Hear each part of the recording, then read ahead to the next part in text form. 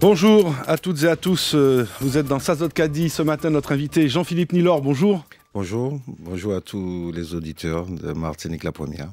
Jean-Philippe Nilor, député élu dans la quatrième circonscription de la Martinique. Vous êtes également conseiller territorial à la CTM et le coprésident du parti PIA. On précise que euh, à l'Assemblée nationale euh, française, vous appartenez au groupe GDR, Gauche démocrate et républicaine, qui compte euh, à peu près 16 députés, c'est ça, je crois, dont beaucoup du Parti communiste français. Voilà.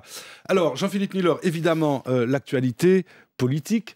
Ce, sont les préparatifs des élections de juin prochain à la collectivité territoriale de Martinique. Les candidats se font un peu plus nombreux depuis quelques semaines. Nous en sommes à 6 désormais, officiellement. Et il en reste encore qui ne se sont pas déclarés, dont euh, la tête de liste de PIA, on ne la connaît pas encore. Alors d'abord, euh, ce nombre qui euh, forcément, sera exponentiel. certains parlent d'une dizaine de listes peut-être qui seront donc là présentes. Est-ce que c'est une bonne chose? Et puis à, quand la précision de, de la tête de liste pour PIA alors, ce que nous avons déjà affirmé très clairement, c'est que nous serons présents et bien présents euh, dans cette bataille électorale euh, prévue au mois de juin prochain. Euh, la dispersion des voix qui risque de résulter de la multiplication des candidatures, ce phénomène qui peut être inquiétant parce qu'en réalité, on sent bien qu'en Martinique aujourd'hui, euh, la population martiniquaise euh, en a assez de l'alternance entre MIM et PPM. Et je crois que aujourd'hui, dans dans le, sentiment d'une grande partie de la population martiniquaise, il faut passer à autre chose. Euh, en revanche, s'il y a une trop forte division ou dispersion des votes alternatifs, je veux dire, au MIM et au PPM, il est clair que ça risque de, ne pas être euh, en réalité euh, concluant. Mais euh, nous sommes convaincus. Et nous travaillons et nous avons d'excellents retours du terrain des différentes réunions que nous organisons. Nous sommes convaincus aujourd'hui de porter un véritable projet une manière de faire la politique autrement en Martinique et nous sommes en train de prouver, pas seulement en parole, mais en action, qu'il est possible de faire autrement. Et euh, nous sommes particulièrement confiants. On va y euh, venir. Euh, pour, pour ce, prochain scrutin. On va y venir. Vous semblez dire que le, programme est aussi important que le choix des, des, des, hommes et des femmes, ou de la femme et de l'homme. Les deux sont, les, Oui, les deux vont de pair. Effectivement, vous dites qu'il semble y avoir un, un, désir peut-être de, de, sortir de, de cette alternative un petit peu, euh, je dirais, de, binôme hein, entre euh, le camp du MIM et, le camp du, PPM, pour schématiser.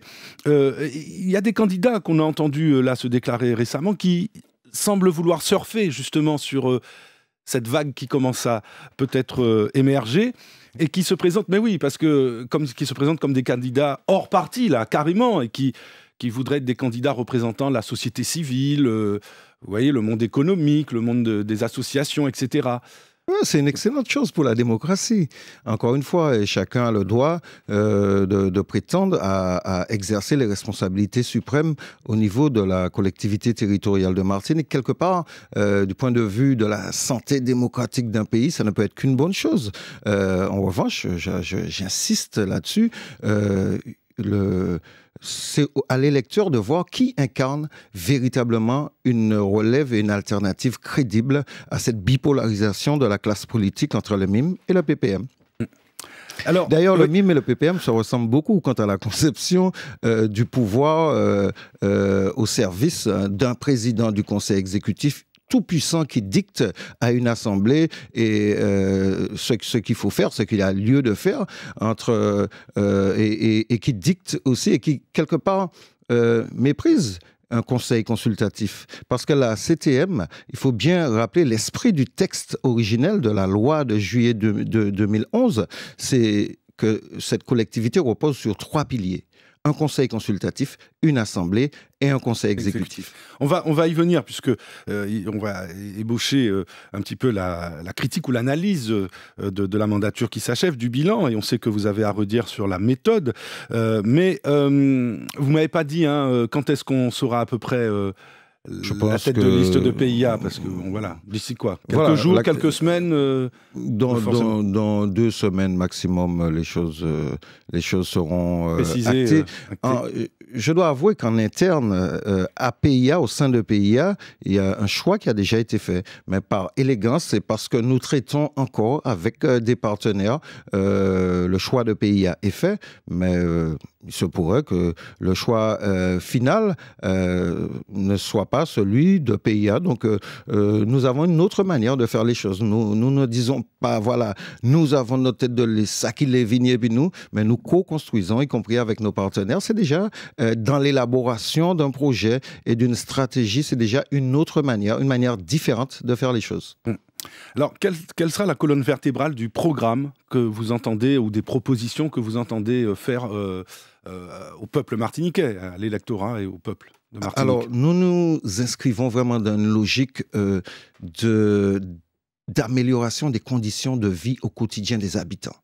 C'est-à-dire que les problématiques de vie chère, les problématiques de transport, les problématiques d'accès au logement, les problématiques environnementales qui sont de plus en plus prégnantes seront au cœur de notre projet. Toutes les problématiques d'accès au réseau. Donc un programme très social et écologique, ou en tout cas euh, souci de la protection de l'environnement. Ce sont les deux. Euh, forcément, ces éléments-là, ces éléments-là sont euh, inscrits dans notre ADN de PIA, et c'est ce à, que, que, le peuple martiniquais attend des, des politiques publiques qui soient cohérentes, dans le sens d'une réduction de la dépendance sous toutes ses formes.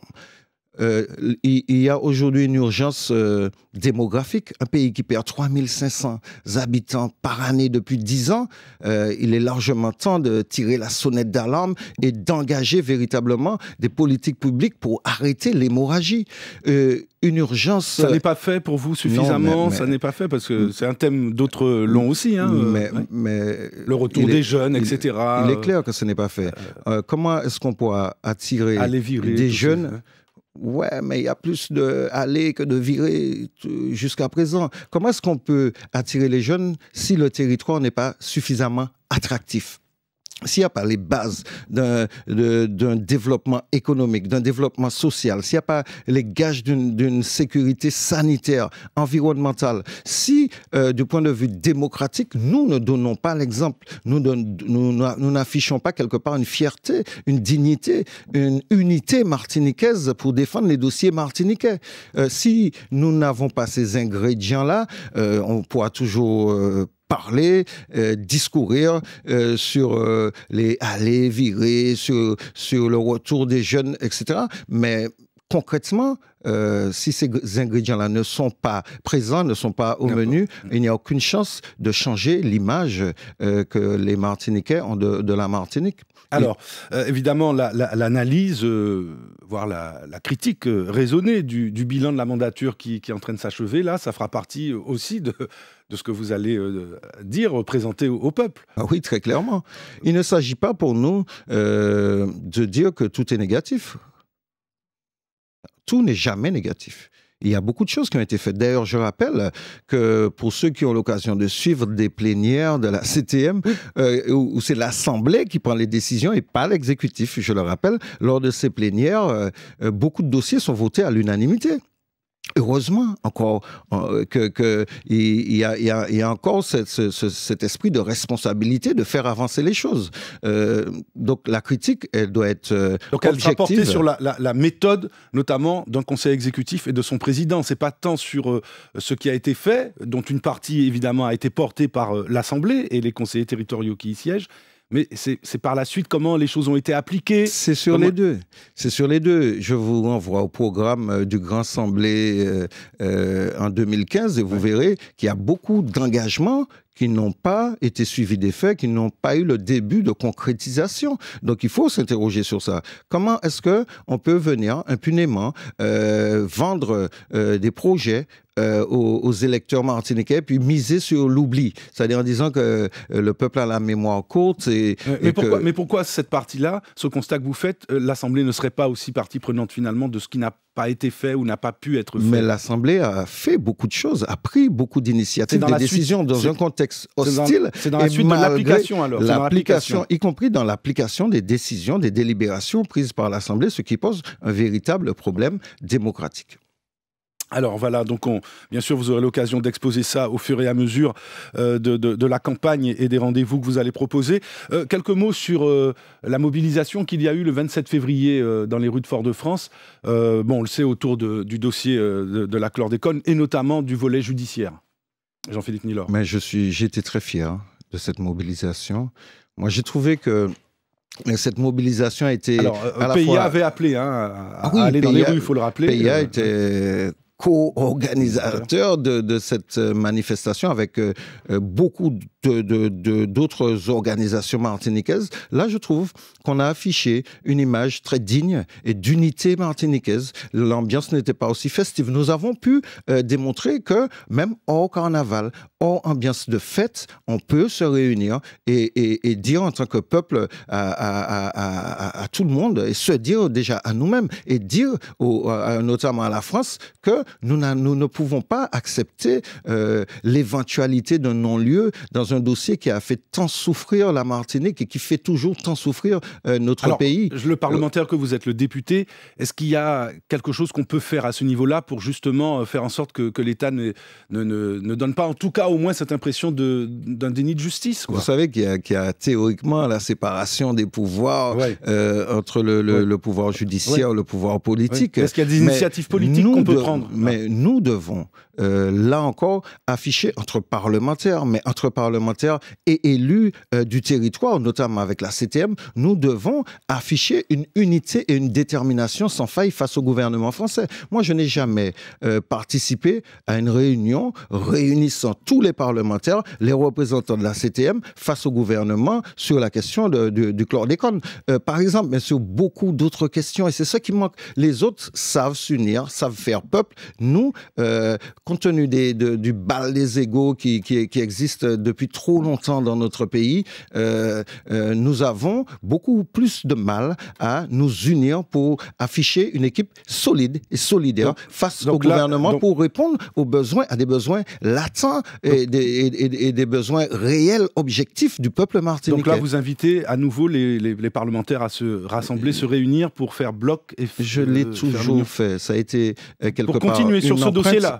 Je veux particulièrement, particulièrement sur ce dossier-là, si on n'est pas capable de s'unir et d'afficher euh, vraiment euh, une, une, solidité, une solidarité entre nous sur, ce, sur ce, ces, questions-là, euh, pour aller porter des exigences auprès du gouvernement français. Pour, une initiative politique forte, c'est ça que vous voulez. Je suis toujours favorable à des initiatives politiques fortes qui sont portées collectivement et solidairement par tous les élus martiniquais au-delà des différences. Et ça aussi, c'est l'empreinte PIA. Le PIA est né, et, on le sait, de cet euh, apport de, différents courants, de différents mouvements. Et c'est ensemble que nous allons réussir. Sinon, nous allons échouer. Et nous sommes en train d'échouer parce que euh, trop souvent, on considère qu'en jouant en solo, on, gagne. Et c'est le peuple qui paye. Parce qu'aujourd'hui, les dossiers à la CTM sont traités euh, dans des délais beaucoup trop longs. Et ça pénalise, in fine, le peuple martiniquais et les porteurs de projets dans notre pays.